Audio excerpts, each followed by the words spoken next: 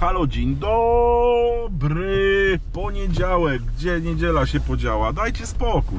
Emisyjna była niedziela e, i bardzo nerwowa, co się wydarzy jakie będą reakcje społeczne. Ale to zaraz o tym i zaraz o tym, gdzie jadę i po co. Ładny mam patnie, w sensie statyw. Znowu mam was między fotelem. Dentysta mnie ścigał znowu.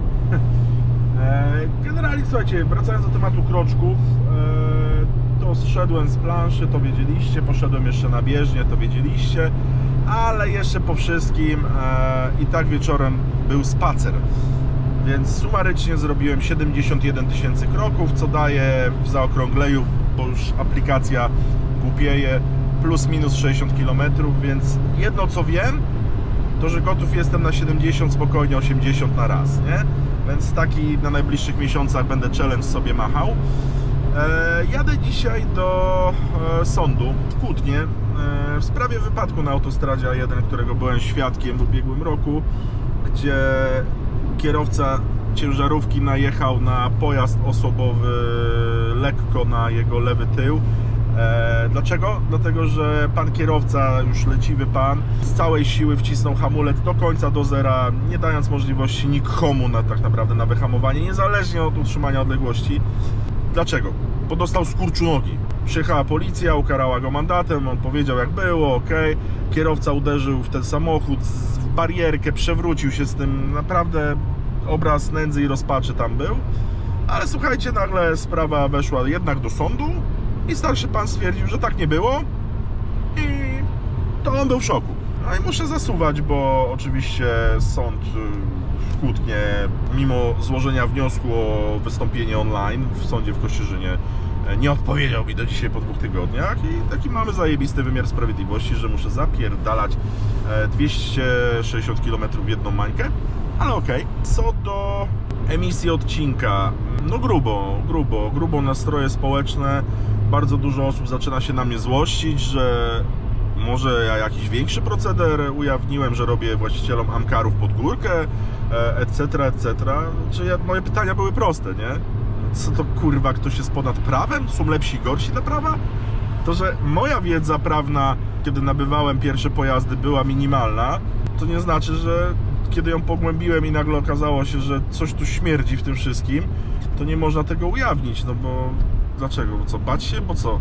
A to, co robi firma, to, co robi drużyna przeciwna, to już jest dosłownie sarkastycznie ująć pycha przed upadkiem kroczy. To takie z Biblii trochę, z Salomona powiedzenie.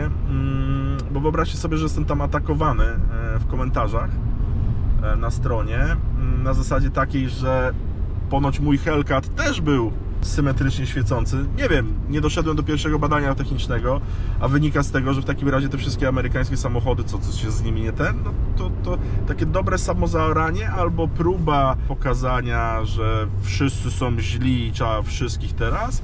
Nie wiem, czego to jest próba, ale wygląda to dość dziwnie, łącznie z próbą obrażania mojego adwokata, próbą umniejszania mi, że właśnie Hellcat, coś tam. Słuchajcie, nie wiem, no, nikt mi nie mrugał, e, ja nie wpadłem na pomysł przez niecałe dwa lata, żeby to sprawdzić, no bo e, zawierzałem e, importerowi któremu też właśnie Hornet z nimi współpracuje, że, że te kwity i te dopuszczenia do ruchu i mówiące o tym, że światła są asymetryczne, to tak jest, ale jeżeli by się okazało inaczej, to o Jezus Maria, co to będzie za... Ojej, uf, uf. No, oczywiście tam jeszcze dużo innych rzeczy, których nie chce mi się w ogóle gadać. Co do detoksu, e, no nie, no uczciwie przyznaję, w piątek przed wypadem e, ok, nic nie ten, ale już sobota, niedziela, to już jest taki okres teraz w życiu przez tą sprawę, ona eskaluje. Ja nie wiem, co druga strona ma zamiar zrobić, czy się bardziej tutaj uwypuklić w jakiś sposób i, i, i ze mną jeszcze coś próbować zadzierać. No, no nie, no, no nie, no brzydko, nie? E, ta przepychanka, że... Ech. Ech. No cóż, no prawda boli czasem, nie? Więc, więc tak, to, tak to dzisiaj wygląda w takim telegraficznym dla Was skrócie. No i co, no mam jeszcze psychoterapię, jutro wyjeżdżam do Warszawy, potem znowu Warszawa. Cieszę się, że te vlogi Wam się jednak klepią i chcecie, żebym je robił, więc ja je będę robił do marca, bo mam takie postanowienie, żeby redukcję robić, żeby miałem, po, żeby w ogóle nie pić, ale wychodzi to tak średnio. W sensie, no, dwa tygodnie to nie jest żaden problem, miesiąc to też nie jest żaden problem, tylko potem sobie uświadomiłem po co. Jak mi to jakoś zdrowotnie nie szkodzi. Oczywiście, że prażenie dużo to to jest niezdrowo, ale okazyjnie to jakoś tak to wygląda. I na pewno nie redukuje to moich podkrążonych oczu w żaden sposób, a myślę, że tak będzie. Smuteczek. Więc pamiętajcie, kciuku. O tak, kurwa, mądry jesteś. A rowerzysty, żeś nie widział, cpanie. Dobrze, pozostawię to bez komentarza.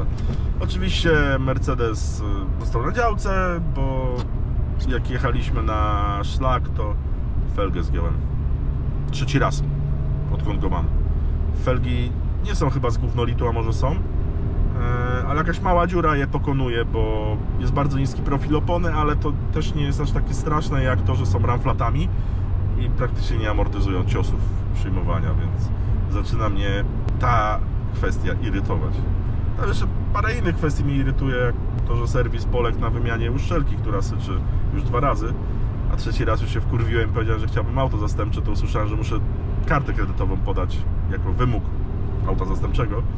Zadzwoniłem do salonu Daci, Skody, BMW, bo się nigdy nie spotkałem z czymś takim i oni też się nie spotkali z czymś takim. Ale to może po prostu, jak ktoś nie ma karty kredytowej, ale ma na koncie tyle, że mógłby kupić sobie 5 takich Mercedesów, to wystarczy ta karta do tego konta, czy nie? no, tak to wygląda. Dobrze, w kolejności trochę marudzenia mojego, dopiero później tematy główne odcinka. Już 16.20. Ostatnie chwile światła, więc nagrywam. No, byłem, zeznawałem. Strasznie smutna historia, bo pan, który był sprawcą wypadku, nagle stał się pokrzywdzonym, ale mam nadzieję, że moje zeznania e, bardzo zmieniły tok sprawy, bo, nawet miałem udokumentowane zdjęciami nagle śladów hamowania policja nie stwierdziła, no to podważyłem brak kompetencji policji, bo miałem zdjęcia, na których widać, że e, auto na przykład hamowało. No i na szczęście tak mam, że dokumentuję sobie różne rzeczy zawsze, bo mogą się przydać, taki społecznik jestem. Na przykład policja nie widziała śladów hamowania, zeznał w sądzie policjant, który też zresztą był moim widzem i to bardzo dziwne powiedziałem do sądu i pokazałem zdjęcia, ja mówię, a te czarne ślady, mówię, za tym małym autkiem to co? No strasznie, strasznie, no pan tutaj zapomniał jaka była sytuacja, że hamował, on nie hamował, a jednak hamował. No mam nadzieję, że e, e, powinno to tak być. No właśnie, e, dlaczego jesteśmy... Prace drogowe 900 metrów. Dlaczego jesteśmy zawistni? Dlaczego jesteśmy zawistnym narodem?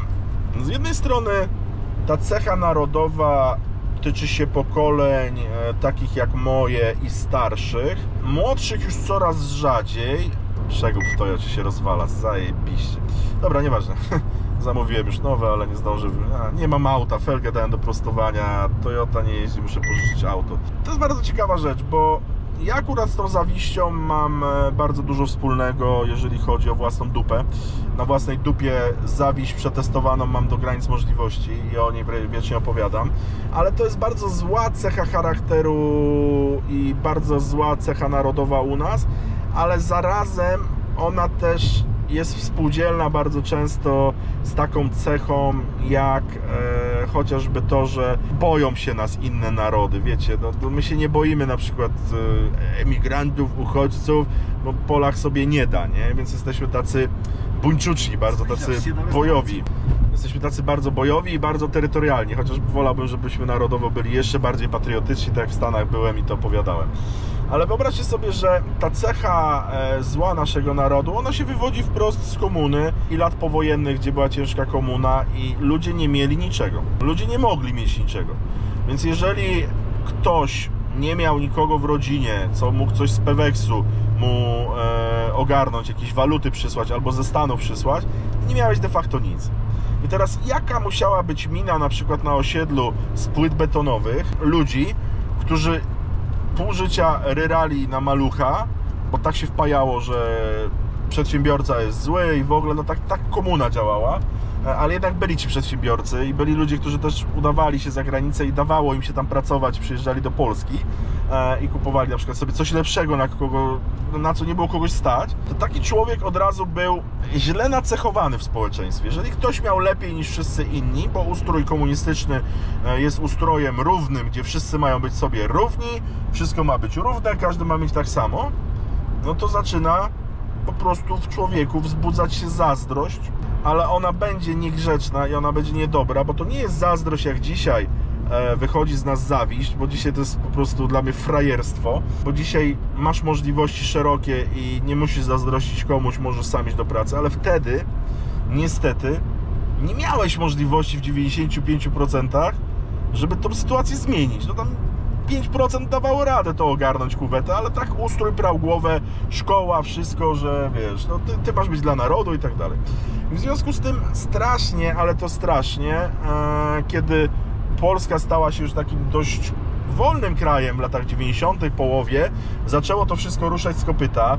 E, kreatywniejsi mieli lepiej, e, bo coś tam sobie przykombinowali, załatwili jakiegoś składaka z zagranicy, jakieś auto, coś sobie kupili gdzieś tam, wyjeżdżali już za tą granicę. Gdzieś to zostało w społeczeństwie. I wyobraźcie sobie, że rodzice e, ludzi z lat 80., 90., wychowani w tamtym ustroju politycznym, dalej tym dzieciakom prali głowę. Że a, ten to pewnie nakradł, ale wałków narobił, ale chuj i tak dalej. Kto z Was tak nie miał?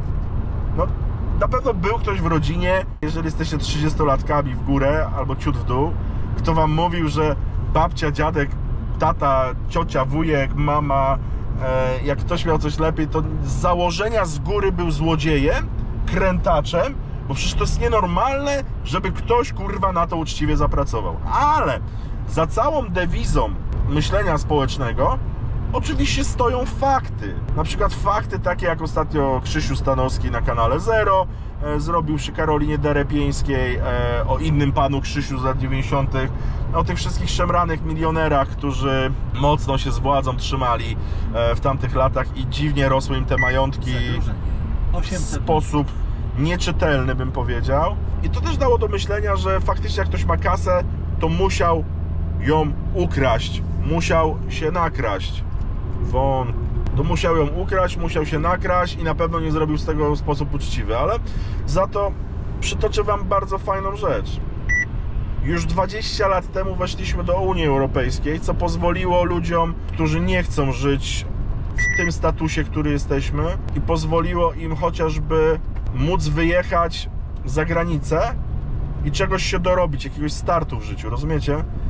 I teraz ci ludzie czegoś tam się dorabiali i wszystkie te możliwości od 20 lat, to, że się unormowały przepisy, spowodowały, że też powstała bardzo duża grupa ludzi, którzy, która w uczciwy sposób, naprawdę w uczciwy sposób, co tu się kurwa dzieje? Po prostu Google i jego prowadzenie po mapach to jest mistrzostwo świata na nowo otwartych drogach. I wyobraźcie sobie, że dalej ta nienawiść, która w nas została przekazywana z pokolenia na pokolenie, powoduje to, że jeżeli nie umiemy sobie w danym momencie poradzić w życiu, jeżeli nie umiemy sobie poradzić z czymś w życiu, jeżeli my mamy biedniej, to jeżeli komuś się bardziej powodzi, to jest duża grupa społeczna, która innym po prostu życzy źle. I na własnej dupie się przekonałem, ludzie, którzy przestali ze mną rozmawiać na wsi, nie dlatego, że my przestaliśmy z nimi rozmawiać, czy traktowaliśmy kogoś gorzej, lepiej i tak dalej. Nie. Po prostu wiem, że wielu osobom pękała dupa, e, były donosy na mnie składane do sołectwa, do tego, bo się buduje, a czy na pewno legalnie, a to, a tamto. Takie rzeczy się odpierdalały, naprawdę. E, więc ta sytuacja pokazała mi, że zawiść ludzka jest mocna. I dopiero to młodsze pokolenie, dużo młodsze, o, pięknie strzela mi przekup. E, I dopiero to pokolenie dużo młodsze jakoś się wychowuje już w tym duchu, że faktycznie można się dorobić. Faktycznie, e, jeżeli się chce, to można coś spróbować zmienić w swoim życiu. I nie można wiecznie negować wszystkiego, nie? To nam pokazuje jakiś taki dobry kierunek. Co, co mi jeszcze pokazuje?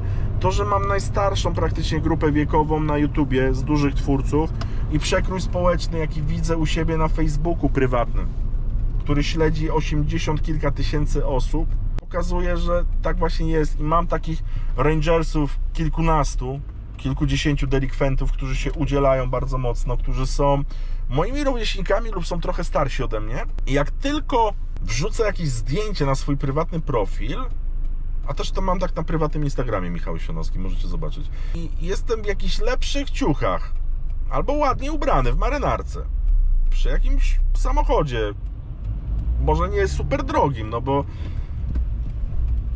no bo nie, no powiedzmy Mercedes, no to 300 tysięcy. Ja wiem, że mało kogo stać, ale no patrząc na auta za miliony złotych, no, no może być inaczej, no wiecie o co chodzi. To ja już jestem wyzywany, dosłownie wyzywany przez tych ludzi, że mi odpierdoliło od kasy, że się lansuje tym i tak dalej i że w ogóle, w ogóle krzyczą na mnie i plują jadem, okej, ale ci sami ludzie, kiedy wystąpię przy takiej Toyocie w tym samym późniejszym czasie mówią, no porządne auto, Michu, ty to się znasz na samochodach. Ci sami ludzie potrafią cisnąć mi w prywatnych wiadomościach, bo odczyt to sprawdziłem kiedyś takiego jednego z drugim, co mi ciśnie e, publicznie w komentarzach i tam mam miłość, nienawiść na zmianę. Czasami Michu, zajebisty film widziałem, ty to jesteś morda, a potem kurwa przestań się lansować, frajerze. Serio, tak się ludziom odkleja i to jest najlepsze, że kiedy mamy ludzi takich średnio zdecydowanych, i to widzę w komentarzach, e, i trafi nam się jedna owieczka, która mówi, o fachura, kurwa, kupował auto za milion i nie sprawdził w salonie, czy świecą światła prawidłowo. A pokaż mi jakąkolwiek fachurę, która to sprawdza w salonie, kupując auto nowe 900 metrów. które ma mieć wszystkie kwity i ma być teoretycznie legalne i legitne. No kurwa, no nie. I wtedy za taką małpką leci stado małpek i wszystkie robią ui, ui, ui. Rozumiecie? Więc e, mój przekaz jest bardzo krótki. Naprawdę są ludzie, którzy mogą nie mieć perspektyw, chorują, nie mają możliwości, żeby im było lepiej w życiu. Naprawdę los może ich tak potraktować. Zdarzają się takie przypadki. Nie mówię, że nie. Ale w 99% tych normalnych przypadków, gdzie są ludzie zdrowi, niczym nieograniczeni, mogący wyjechać za granicę, nawet nie mając języka, zbierać truskawki, kurwa, szparagi, jakkolwiek zacząć, wymyślić sobie swój własny biznes i spróbować coś zrobić ze sobą. I oni nie robią nic, nie robią nic ze swoim życiem, a wchodzą tylko i biadolą na kogokolwiek, kto lepiej ma od nich, że ukradł, że się dorobił nielegalnie. Wyzywają tą osobę. Dla mnie to są upośledzenia mózgowe. Bo ja nawet w najbiedniejszych czasach jak widziałem kogoś w fajnej furze, to nigdy nie pomyślałem, że ukradł. Serio, nigdy nie pomyślałem, że ukradł albo robił wały. Ohoho, polityk kurwa albo bandzior. Nie. Zawsze się uśmiechnąłem z taką pozytywną zazdrością, że kurwa, też bym tak kiedyś chciał. Super ziom. Rozumiecie? I wydaje mi się, że ten vlog powinien się ponieść gdzieś tam udostępniony na Facebooku. Może, może to komuś da do głowy. Zawiść, i to ja wiem po sobie, rodzi nienawiść. Nienawiść rodzi nienawiść, a to nie jest dobra cecha. Jeżeli po prostu mamy ochotę wypluć na kogoś jadem, dlatego że sami nie umiemy sobie poradzić w życiu i mamy taką frustrację społeczną, spójrzmy w lustro i zastanówmy się, kim my w tym momencie jesteśmy i jakim bydlakiem i zwierzęciem się stajemy. Bo to jest straszne. Ja to już nie mówię na własnej dupie, ja to czytam w komentarzach, jak nie wiem, ktoś kupi sobie auto. Boże, jak mogę lubić lub nie lubić, nie lubić ekipy czy Freeza, bo, bo przecież nie muszę każdego kochać. Tak naprawdę, kiedy, nie wiem, powstawał artykuł, że Freeze kupił sobie Merca za 300 czy jakiegoś tam za 4 i ludzie pluli wiadem w niego i tak dalej, to mi było po prostu przykro. Po ludzku przykro. Gdzie gość nic nie ukradł. Widzowie godzą się go oglądać? Zgadzają się z tym? On na tym zarabia, ma też lokowania, robi content, prowadzi swoją telewizję. Nieoznaczony Wiecie o co chodzi? BMW. I naprawdę ktoś się na tym wyżywa, znęca? No tak kurde nie można, nie można. No dobra, słuchajcie, później będę kończył tego vloga. Na razie e, się z Wami rozłączę w tej sekcji komentarzy, dość krótkiej dzisiaj. A, już w domu, co za smutek ogarnął mnie wjeżdżając na działkę. Jesteś smutkiem? Ile ty już u nas jesteś lat? Cztery? I po czterech latach Przyszłaś dać się pogłaskać wreszcie, tak? Ale to są przełomy. Smutek mnie zastał. Toyota rozpieprzona. Na ostatnich 4 kilometrach to przegub już mówię, o miłośnikowa palerama trzeba będzie ciągnąć, ale na szczęście dojechałem. A to może do pracy chociaż dojadę, żeby już wymienili. No i tak stoi ten Mercedes bez tego jednego kółeczka i tak. Dobrze, słuchajcie, dziękuję za wspólnie spędzony kolejny vlog. Ja wiem, że teraz trochę odsunąłem, trochę odstępy robię, ale operator też musi żyć, bo Stasiu poza montażem miłośników siedzi jeszcze montuje te vlogi, więc wyobraźcie sobie, że codziennie to w tygodniu mu wychodzi 11 odcinków do zmontowania, a jeszcze do nagrania 3, więc no, tak to wygląda. No, to kciuk w górę, subskrybuj, żeby być na bieżąco, no i trzymajcie się. Cześć! Thank you.